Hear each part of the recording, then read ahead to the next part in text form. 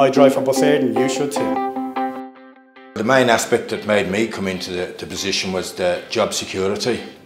Well, when I started Bus Éireann, I had no experience as a bus driver, so I was very, very nervous. But from day one, they literally, they mind you. Well, for me, the best aspects of being a Bus Éireann driver is uh, meeting the public. That's my number one because I always talk, talk, talk. You meet different people and then um, you try to put a smile on them because in the morning everyone is sad and all that so you try to cheer them up in the morning and then that makes your day as well. I suppose I've had the privilege of driving the Dublin football team for the last nine years. Being there through all the All-Irelands and, and the league wins and, and, and Leinster wins, so that has been the biggest aspect for me. Bus Éireann were having an open day and I thought, go in for the crack. And I got the job. And 11 years later,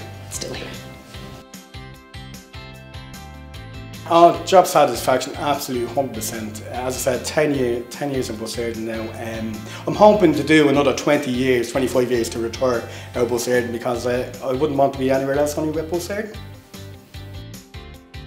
What I enjoy most about my job is meeting people. Um, I've met some great characters over the years, heard great stories, and passengers will tell you I never stop talking. The colleagues that we work with, um, you know, we're like one happy family. We all look after each other and help each other out. I enjoy meeting people. Uh, you're driving good vehicles, get trained in on all the different models, double deckers, single deckers, all new buses. As I say, if you like driving, you'll like driving for Bus Éireann. If you'd like to join the team, don't hesitate, apply now.